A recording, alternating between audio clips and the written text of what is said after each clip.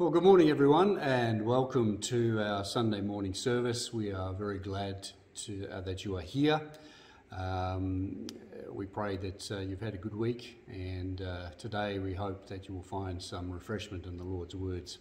So, I'm going to begin uh, with the Lord's words, and I'm going to be uh, uh, reading from Psalm chapter 12 and verses 1 through 8. Psalm chapter 12, verses 1 through 8. Help, Lord, for no one is faithful anymore. Those who are loyal have vanished from the human race. Everyone, everyone lies to their neighbour, they flatter with their lips, but harbour deception in their hearts. May the Lord silence all flattering lips and every boastful tongue, those who say, By our tongues we will prevail, our own lips will defend us.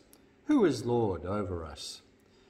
Because the poor are plundered and the needy groan, I will now arise, says the Lord. I will protect them from those who malign them, and the words of the Lord are flawless.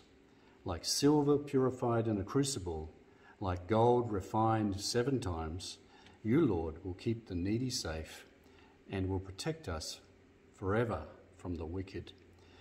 The wicked who freely strut about when what is vile is honoured by the human race. Let's pray. Father in heaven, Father, we thank you. We thank you for this time together as we immerse ourselves again in your word. Your word is truth. And Father, we just thank you, Father, that we have an anchor on which we can hold on to in this crazy world. For many people, this week will have been a mad one.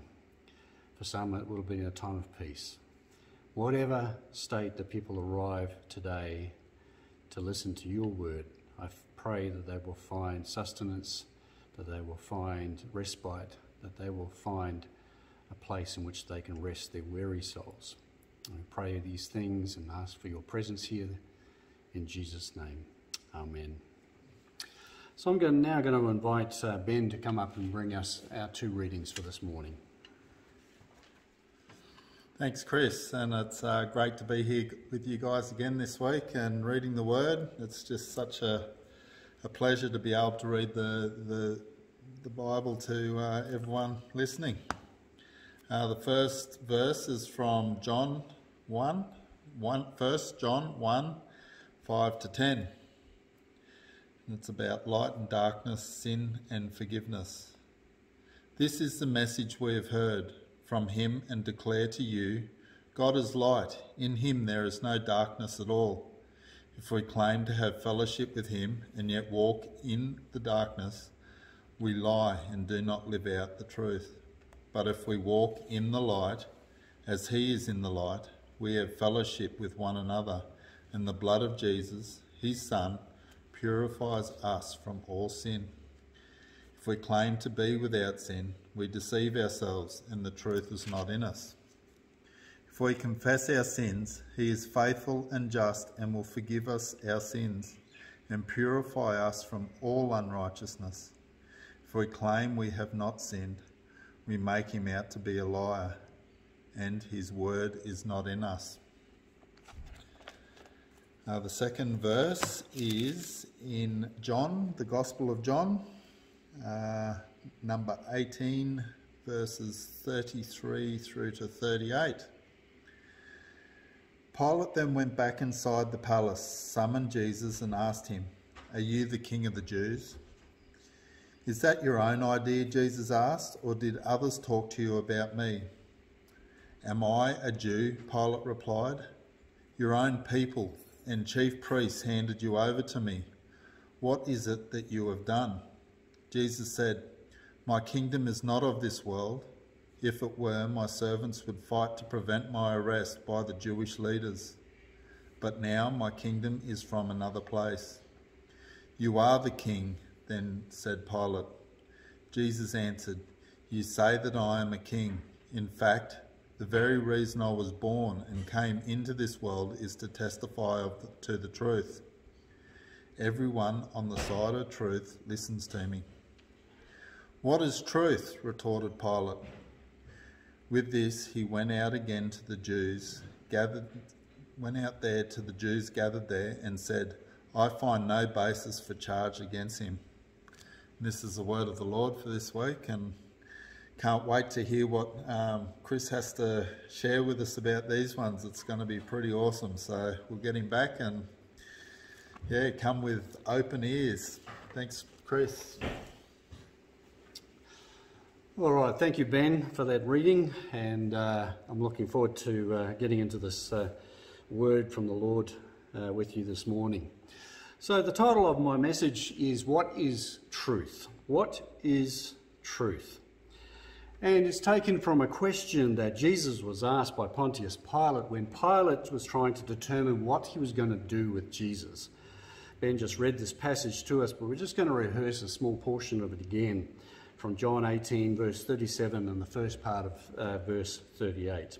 The passage reads, You are a king, then, said Pilate. Jesus answered, You are right in saying I am a king. In fact, for this reason I was born, and for this reason I came into the world to testify to the truth. Everyone on the side of truth listens to me. And then Pilate, of course, asked that question that has been debated for centuries ever since and we might ask ourselves was Pilate sincere? Uh, was he sarcastic? Nobody really knows, but uh, his question was what is truth? What is truth? And to answer that question is so very, very important today because it determines so very much about our lives. In fact, at a very basic level, here's why it is important, and it's simply this what you believe determines how you will live. Let me repeat that for you. What you believe will determine how you behave, how you live. And it, it determines how you behave relationally, it determines how you behave materially, it determines how you be- behave uh, financially, it determines how you behave, of course, morally. And ultimately, it determines how you behave spiritually which in turn will determine what happens to you after this life. So, what you believe to be true determines how you behave, and not just consciously, but sometimes subconsciously as well. And I want to illustrate this for you. We can read a verse such as Psalm 97 and verse 2, which says, May all who are godly be happy. May all who are godly be happy. Now, that sounds really wonderful. So if you're godly, then the psalmist, and by inference, uh, God Himself, wishes for you to be happy. But what happens is that uh, we consciously or sometimes subconsciously we infer things from this, uh, this idea that simply aren't true. For example, if God wants me to be happy and it turns out that I'm not happy, then God has failed me. Da-dum. Okay, I'm trying to emulate those uh, game show uh, buttons, you know, where the buzzer goes off and, sorry, wrong answer. Da-dum. So Proverbs, 14, Proverbs uh, chapter 14 verse 12 reads this. It says, There is a way that seems right to a man, but in the end it leads to death. So what this means is that uh, wrong thinking can kill you. Believing something is true when it's not, or conversely, believing something is false when it is true, can sometimes be fatal. But believe me when I say that a lot of people are following this pattern of thinking in the world today. And ultimately, as the, as the proverb says, it will be terminal. In the meantime, people invite a whole lot of carnage into their lives simply by believing the wrong thing. Now, here's the rub without a belief in absolute truth from an absolute truth giver, and we'll talk more about that in a minute, but without a belief in absolute moral truth, then truth becomes whatever we want it to be, whatever makes us happy. And when the bottom line is my own happiness, then my happiness becomes the standard, the arbiter by which I judge my own actions, my own behaviour, and even the actions of other people. Going one step further, since God, according to the psalmist, wants me to be happy, then the implication is that anything that doesn't make me happy must be very bad, very bad indeed. So things like discomfort, delay, risk, suffering, inconveniences, obstacles, none of these can possibly be God's will for my life, right? Da-dum, there's that buzzer again.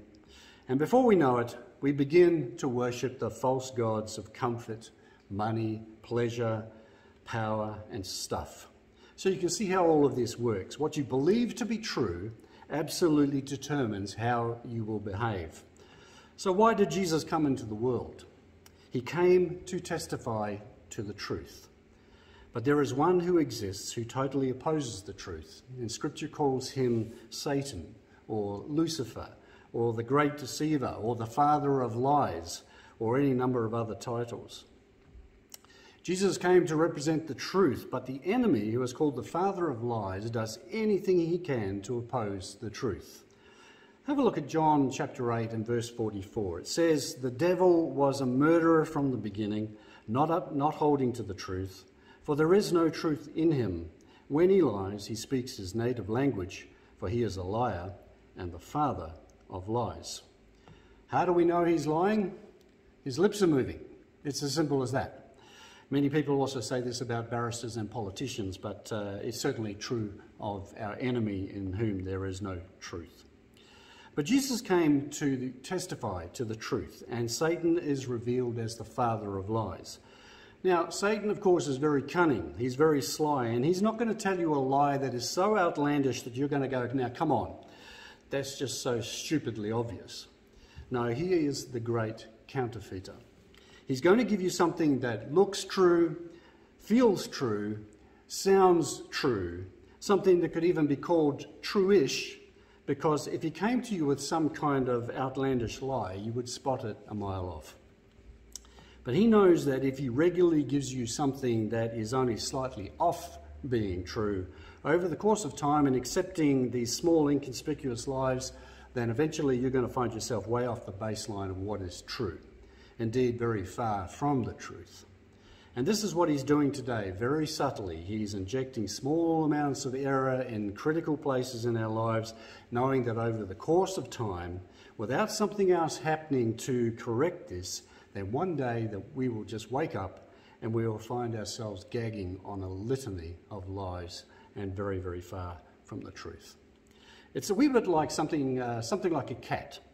The cat licks its own fur and it's grooming in the course of grooming, and it's not really a problem for the cat, but small amounts of fur make its way down into the cat's stomach. And it's all okay for a while, but then at some point, up it comes. It's a, it's a fur ball. It's what's known as a fur ball. And I don't know if you've ever seen a cat do that. I have a cat, and it's incredibly gross when that happens. So over time, we can find ourselves exchanging the truth of God for a lie. And you can see the results of this in Romans 1. And we're going to look at a, a, few different verses here verse 18, verse 22, and verse 25 of Romans 1, if you want to follow along with me. Beginning in Romans 1, verse 18, it says, The wrath of God is being revealed from heaven against all the godlessness and wickedness of men who suppress the truth by their wickedness. Down in verse 22, although they claim to be wise, which is what's happening today, you know, we're, we're all so very uh, enlightened, aren't we? You know, we, we know more than our parents, more than you, more than me, you know, all that stuff. Um, and, all, and, and this is all just a lie, but it says, although they claim to be wise, they became fools. They became fools. Verse 25 says uh, what they did as a result of this, and it says, they exchanged the truth of God for a lie. They exchange the truth of God for a lie. Looks true, sounds true, feels true, but it's actually a lie. So let me just tell you this. What we're talking about here is what I believe to be one of the biggest problems facing the current generation the willingness to buy into one of the most dangerous and false belief systems ever created. In fact, ever since the so called Age of Enlightenment came upon us, beginning with the late uh, 17th century and on into the 18th century, our spiritual enemy, Satan, has leveraged two great weapons used to great effect in the world today. The first of these weapons is relativism, and the second is subjectivism. So, relativism and subjectivism, these are two great isms that you should become uh, familiar with, if only to know when the weapons, these weapons are being used against you. So, what is relativism? Relativism is the assumption that there is no such thing as absolute truth, that all truth is simply relative to any other truth, hence the name relativism. On the basis of this assumption, then, truth is evolving, it is never constant. Your truth might be different to my truth, relatively speaking. Forget about divine authority, forget about absolute truth. It doesn't exist in relativism. And this is the mindset upon which our children are feasting in schools all across the Western world, in particular in our universities, everywhere in our educational system. This is rampant. For example, in parts of our Western world today, students from primary age all the way through to secondary and university age are being indoctrinated in a new narrative which questions the history of the Jewish Holocaust. We, many of us who are older, like, uh, like me, we, we know this stuff from our history. We were taught it. Six million Jews and many, many other uh, ethnic groups also died during the Jewish Holocaust. What is the consequence of all of this, of not teaching these things properly? Well, statistically, a sharp increase in anti Semitism all around the globe. It's horrible. I read an article recently about a man in France who killed a Jewish woman in 2017 in an anti Semitic frenzy. This man crying, Allahu Akbar, and I killed the devil, beat up a 65 year old woman before throwing her out of the window of her Paris apartment. Just awful. And there is a lot to this story, including the involvement of the uh, French President Emmanuel Macron. But the other shocking aspect of this case was that the French High Court ruled that the man could not stand trial because of acute mental delirium brought about by the consumption of cannabis.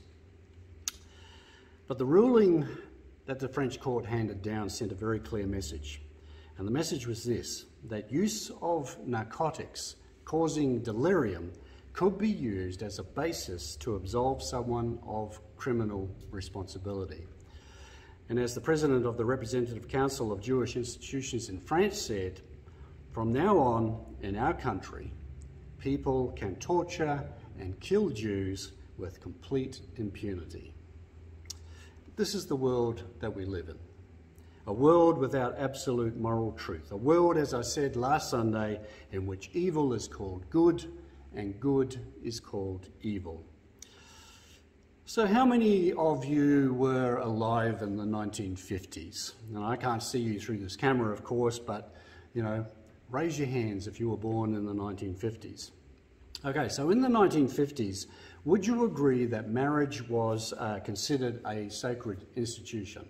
So even though I can't see you, just raise your hands if you agree with that. And now I want to ask if uh, uh ask uh, who of you were around in the 1960s, just a decade later or so. And you can raise your hands if you, if you, if you want. And I'm going to say, well, wherever you are, if you just raised your hand to that last question, you were around in the 1960s, then I know automatically that you can't be telling the truth because they say that if you were around in the 60s, you wouldn't remember any of it. Okay, so I'm, I'm kidding with that one, but that's, that's completely untrue. Well, almost completely untrue. But for those of you who are around in the 1960s, you know that free love was a really big thing on the scene in, the, in, the, in that decade. Fidelity wasn't nearly as important to much of society back then as it was in the 50s, and a lot of promiscuity was taking place, and marriages, of course, bore the brunt of that. Okay, so here's two lines of thoughts from two lines of thought from two different decades. On the one hand, we have marriage, which is sacred, and on the other hand, we have its opposite thought, which is free love is the hip way to live. And these thoughts are then smooshed together uh, in, in, a process which is called thesis plus antithesis uh, equals synthesis, something which is known as the Hegelian dialectic. We're not going to go into that. But you smush these things together, and all of a sudden, voila, you come up with a new relative truth, which basically says something like this Marriage is okay, but you can take it or leave it. You know, you don't have to commit to it. If you, don't, if you find that you don't like it in marriage, then you can always bail out at any time that you like. So you see how these, these two truths came together and created a new relative truth. Under the doctrine of relativism, all this is a perfectly legitimate way to think. So what about subjectivism? What's that all about? Well, subjectivism says that I, the subject, have the right to determine what is right and what is wrong without any reference whatsoever to an external source, without any external authority outside of myself having any input.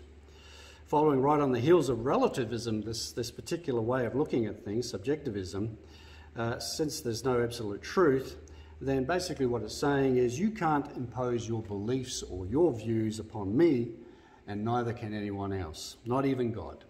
Not even God. You or I become the source of our own truth, and we determine if our actions are right or wrong based on how we feel. And if it feels good to me, then it must be true. If it makes me feel happy, then that's really all that matters. As long as I don't hurt anyone, uh, then it really doesn't matter what I do. Huh. Now, I don't know if any of you uh, out there in cyberspace are uh, starting to go, now, wait a minute, hang about. Isn't this all really sounding a whole lot like uh, Genesis 3 all over again? You know, I am my own God, small g. I make my own decisions, and since so, then uh, who needs God with a capital G? Well, under the rules of relativism and subjectivism, that's perfectly valid thinking. But here's the danger when I base my life on these false philosophies of relativism and subjectivism, then these in turn are going to determine how I behave.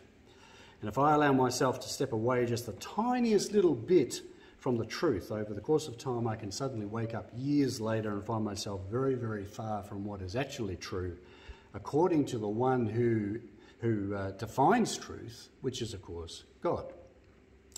Relativism and subjectivism, powerful weapons in the hand of our spiritual enemy today.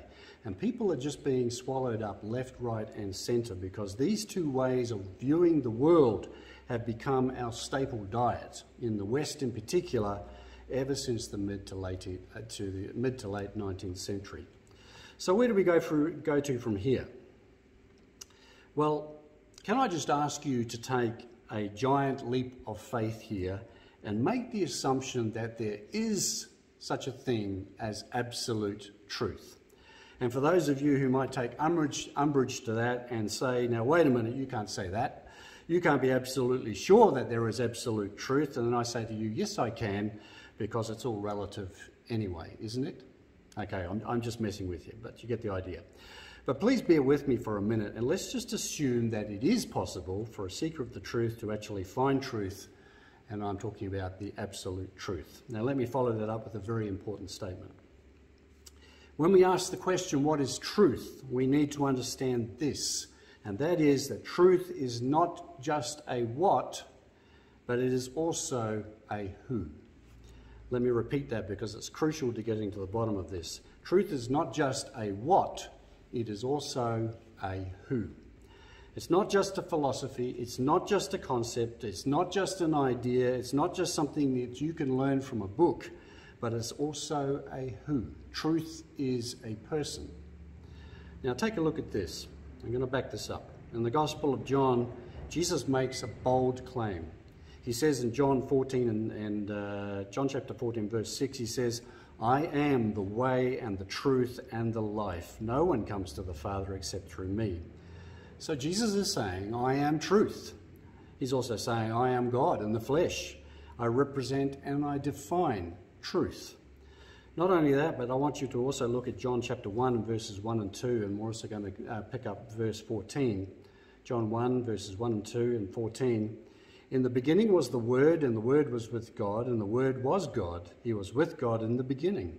Down in verse 14, the Word became flesh made his dwelling among us, and we have seen his glory, the glory of the one and only, who came from the Father, full of grace and truth. Full of grace and truth. And there's the crux of it right there. Grace and truth, truth and grace. These are beautiful stablemates together. So, why is it that so many people today reject the statement that Jesus is truth? It's not because of the life that Jesus lived. If you just look at uh, who Jesus was as a person, even those people who hate Christianity, if they have any sense of right and wrong, they will generally accept that Jesus was a great person who lived a great life. So, what's the rub then? Well, simply this it's how Christians have represented Jesus. Truthfully, when we look at our own lives compared to that of Jesus, we don't do it terribly well, do we? Jesus lived this life full of grace. But we, well, we just don't seem to do this very well very often. We're often hypocritical, we're all too often judgmental, and we really don't show a whole lot of grace to one another, do we? Not the kind of mercy and, and compassion that Jesus so wonderfully represented. And so when people on the outside of the church, they look at us, they often instinctively reject Jesus because Christians have been all about representing the truth, but with very, very little or no grace. And there's also the flip side to this as well, which is also a really big problem and a growing problem which is creeping into many churches today. The very offspring, in fact, of relativism and subjectivism, which I just spoke about, and that is grace without truth. Okay? And grace without truth leads naturally to an anything goes type of mindset. Does that sound familiar to you? And God then is transformed into a God of unending tolerance. Everything is okay so long as we are sincere and so long as no one gets hurt. That's the rhetoric. But here's the truth.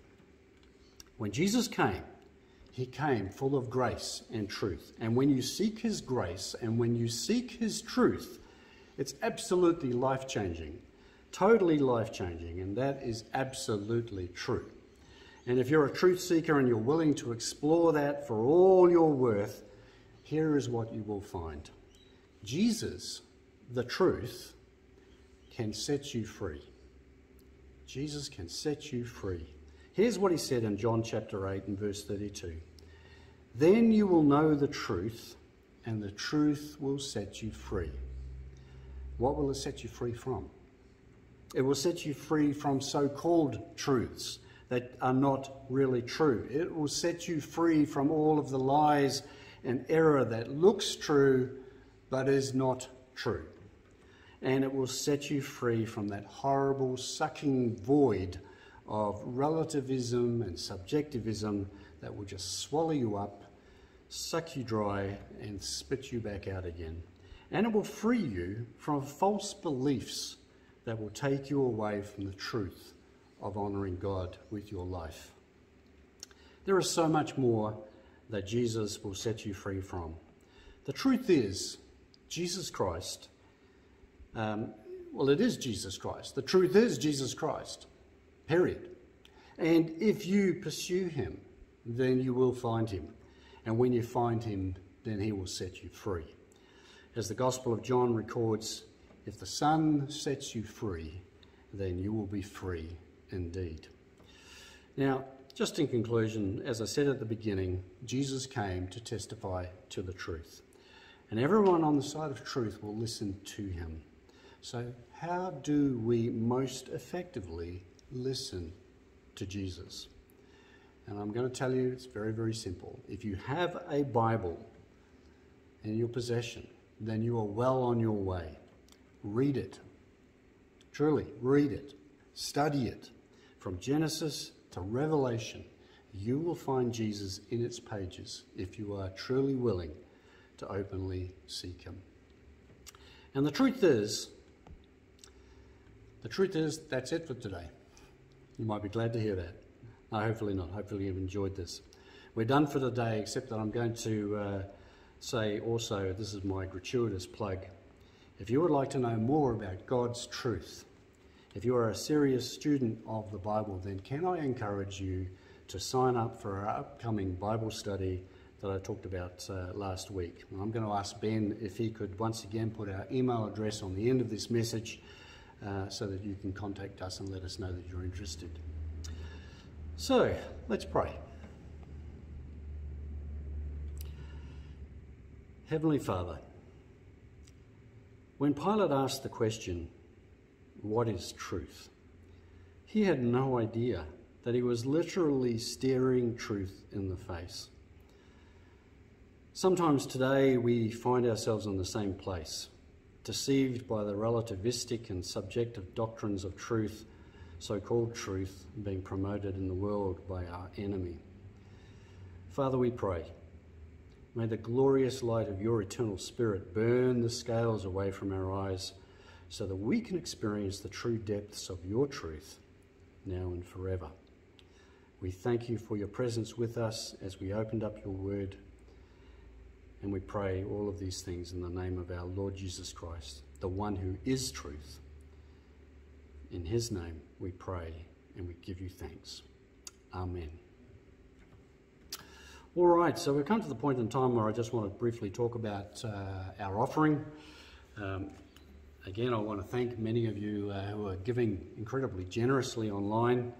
Uh, that really is a help to us to keep the lights on and to be able to, us to be able to continue doing what we're doing here in this online forum and also in uh, present in the church, uh, the little building church on Sunday morning. So thank you for your gifts. Thank you for investing in God's kingdom. Let's pray. Father, we thank you for who you are. We thank you for your glory revealed in the pages of Scripture. The truth which anchors us firmly to the rock of our salvation, Jesus Christ. Father, it is an honour and privilege to be able to be a part of your kingdom work. You call us as ambassadors, you call us as kingdom priests in order to do your work on earth before you call us home. And we are honoured, honoured and privileged to be a part of this. And so thank you, Father, that we can serve you in this way, multiply our gifts that your kingdom will be uh, advanced and that your name will be glorified. In Christ's name we pray. Amen. All right, so I pray and hope that you've enjoyed our uh, time here this morning, that uh, you've been edified and uplifted, and uh, you have a much better picture of what truth is. Truth is not only a concept, truth is actually more than that. It's a person, the person of Jesus Christ. So let me uh, finish our morning together with a blessing. And I'm reflecting again on the subject of truth. And I want to offer you a passage from Romans 15 in closing, where it says, For everything that was written in the past was written to teach us, so that through the endurance taught in the scriptures and the encouragement that they provide, we might have hope. And so may the God who gives endurance and encouragement give you the same attitude of mind toward each other that Christ Jesus had, so that with one mind and with one voice you may glorify the God and Father of our Lord Jesus Christ. Amen. Bless you all and have a great week.